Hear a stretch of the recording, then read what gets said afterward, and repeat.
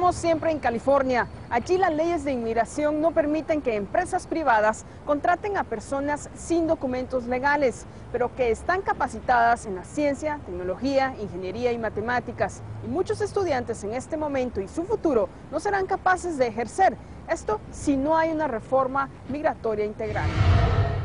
Algunos de los nombres más influyentes de Silicon Valley están uniendo fuerzas con grupos de la inmigración y los legisladores para presionar por cambios integrales en la ley de inmigración de Estados Unidos.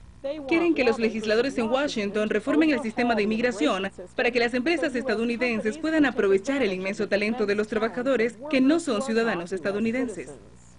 La congresista Zoe Lockfriend de Silicon Valley dice que el sistema está deteriorado. La razón para realizar una reforma de las leyes de inmigración es porque es un desastre de pie a cabeza.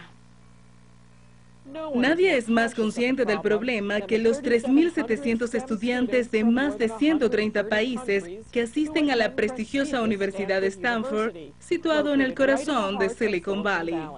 Muchos estudiantes extranjeros quieren permanecer en los Estados Unidos para trabajar para empresas de tecnología. Las regulaciones actuales hacen muy difícil que los extranjeros puedan quedarse aquí en América.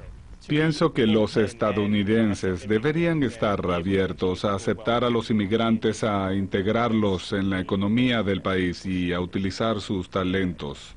John Pearson es el director del Centro Internacional de Victor en Stanford. Deberían otorgar más green card a los trabajadores calificados para que puedan venir a Estados Unidos. Se tienen que realizar algunos cambios en la cantidad de cupos del país y en los tiempos de procesamiento. Cuando se suman estos tres factores, el proceso para tener una green card puede llegar a ser muy frustrante. Muchos estudiantes de otros países estudian en las universidades norteamericanas y no tienen intención de quedarse aquí se han comprometido a regresar a sus países de origen donde se apreciará su formación y educación. Mi plan consiste en estudiar en Estados Unidos. No tengo planes de quedarme a trabajar aquí. Para las empresas de alta tecnología en Silicon Valley es importante incrementar el acceso a las visas para el crecimiento económico continuo. Y en los próximos 10 años, la economía estadounidense espera agregar al menos un millón de puestos de trabajo de informática. Al ritmo actual, las universidades americanas no producirán ni la mitad del número de trabajadores calificados para ocupar esos puestos.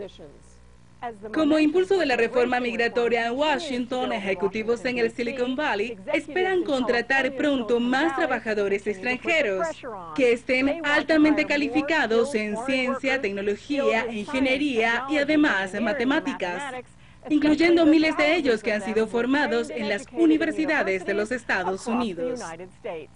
Rachel Silverman para Telesur, Universidad de Stanford en Palo Alto, California.